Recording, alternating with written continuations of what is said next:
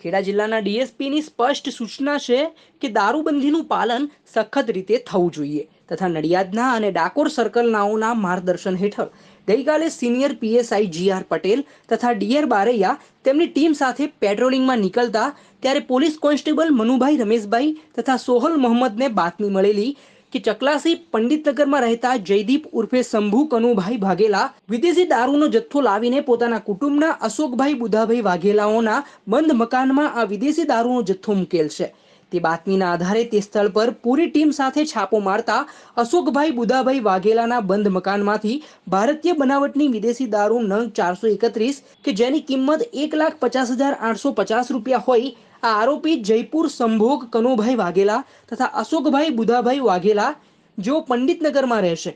તે બંનેની વિરુદ્ધ કાયદેસરની કાર્યવાહી કરીને આ બંને બુટલેગરોને પકડવા માટે પોલીસે તેમના ચક્રો ગતિમાન કરી દીધેલ છે.